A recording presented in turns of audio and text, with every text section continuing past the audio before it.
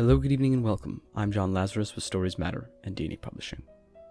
If there's one mistake I've made in this video series, it's that I haven't told you enough about myself. Any asshole can get on YouTube and give you writing advice with zero credentials. Why should you trust me? After all, I don't show my face and I use a pseudonym, and if you listen closely, I frequently have the faint sounds of screaming in the background audio of my videos that I can't edit out. But the truth of the matter is, there's a lot to be learned from my 25 years of experience as a writer, both from my successes and my failures. In today's video, we'll take a deep dive into the most productive year of my career, and I'll share things I learned about productivity, the elements of fiction, and crippling drug addiction. And if nothing else, you'll be able to identify the warning signs that someone is secretly poisoning you. Let's ink up our pens and put on our writing gloves to prevent pussing blisters on this edition of Stories Matter.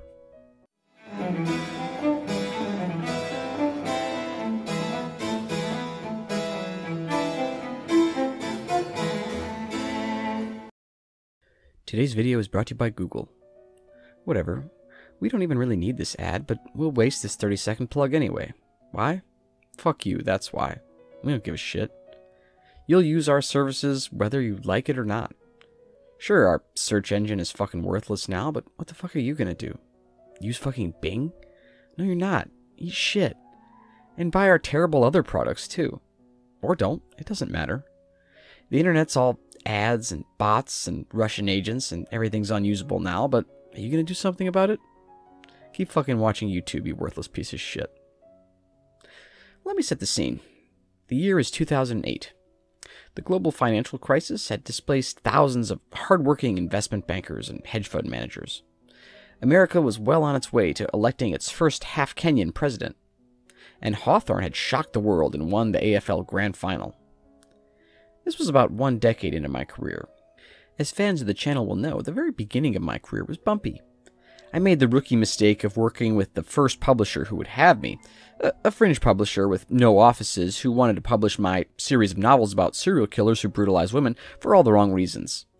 And then my second publisher, while more reputable, had set it up so I lost money on every book I sold. Then, in 2003, into my life came Tabitha Cartwright, because of certain legal agreements, I can't go into too many specifics about our relationship, but despite how things ended, it was certainly the most fruitful collaboration of my career. She was, just to give an example, the first person who told me I shouldn't endow all my female characters with double D breasts. I was finally able to write a book that sold more than a thousand copies.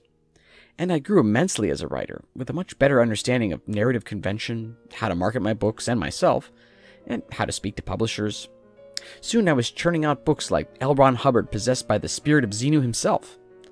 In the final year, 2008, I wrote 51. Here's what I learned. Lesson 1 It all starts with a strict routine. As a writer, it's not enough to want it. You can say you're determined all you want. The junkies at the support group I've joined under false pretenses to get ideas for my writing say it all the time before they inevitably relapse. But having a strict routine enforces determination. You can see my video on my writing routine here.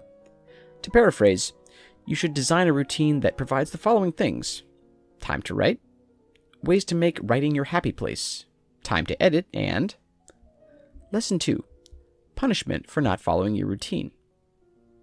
You can't let life get in the way of a good idea. Think of what our world might be like if Einstein hadn't been absolutely revolting to his wife so he could focus on his work.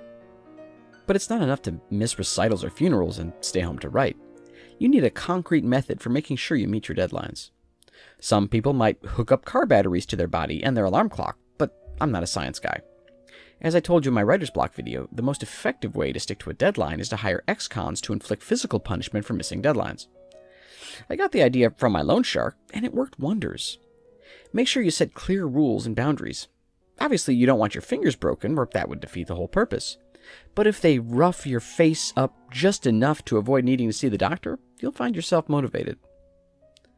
Lesson 3 Make sure your POV is consistent. Lots of writers worry about plot holes or creating snappy dialogue, but almost nobody realizes the importance of having a consistent POV that serves a specific function. Maybe it was because I was writing 15,000 words every day and only getting up when I hallucinated that somebody was knocking on my door but I would slide between third person omniscient and third person limited often. Lesson 4 Big ideas are more important than details or spelling errors or turning in your final manuscript on the back of horse race pick slips.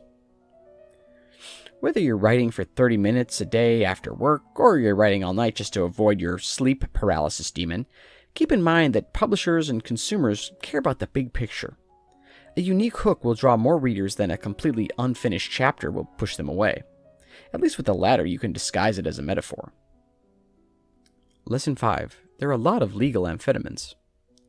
So after book 30, even I was a little surprised by my own productivity. I mean, I knew story structure in and out, and I also didn't have to cook or clean or bathe myself because Tabitha hired a maid to do all that for me. I was always driven, and I never had the most normal sleep patterns, but it did seem strange to be awake for 72 straight hours and then crash for the following 16. And it turns out the aspirin the maid was giving me was actually an amphetamine responsible for my loss of sleep. When I confronted Tabitha, she said it was legal, took me to the pharmacy where she bought it, and said it was no different than putting her dog's heartworm medication in his biscuits. If I wasn't so horribly addicted by that point, I probably would have gotten mad. Lesson 6 Sleep deprivation can lead to memory loss. Just like a porn star or a calculus teacher, a writer needs to know their limits. Mine were thrust upon me. Books 32 to 47 are all lost to memory. The only evidence I have of those few months is the final product of 15 very poorly written novels and a very terrible Bernie Madoff Halloween costume. I'm pretty sure I stopped taking the drug at some point during this period, only due to the fact that I'm not dead. To this day, I'm still not sure if it was through sheer willpower, or if Tabitha simply realized my books weren't selling enough to pay for the pills, the maid, and the baby I somehow put inside her. Anyway, if you're going to write 51 books this year, make sure to take care of your physical and mental well being. That's all for today. Please like and hit that subscribe button if you haven't already, and I'll leave you with this week's author quote of the week. See you on the next one.